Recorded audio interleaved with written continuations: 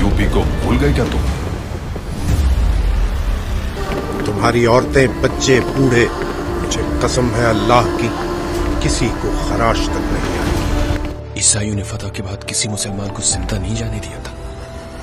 Salahuddin Salahuddin.